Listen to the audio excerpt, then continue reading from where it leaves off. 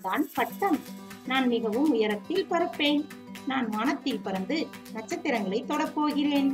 என்னை ஏன் இப்படி கட்ட வேண்டும்? இவர்களும் இந்த நூலும் என் லட்சியத்தையும் கனவையும் தடுக்கிறார்களே. ஐயா என்னை கட்டியுள்ள இந்த நூலை நீளமாக விடுங்கள். அப்போதுதானே நான் உயரத்தில் செல்ல முடியும். இவர்களையும் கயிற்றையும் விடுவித்து பறந்து போனால்தான் சாதிக்க முடியும். ஐ நூல் அருந்து எனக்கு விடுதலை கிடைத்து விட்டது அச்சமயத்தில் திடீரென காற்று பலமாக வீச வேகக்காட்டில் சிக்கி மரத்தில் மாட்டிக்கொண்டது. மேலும் காற்று வீச பட்டம் கிழிந்து வீணாய் போனது. பட்டத்திற்கு பாதுகாப்பு வலிமையும் நூலிலும் நூலை வைத்திருப்பவர் கையிலும் தான் உள்ளது.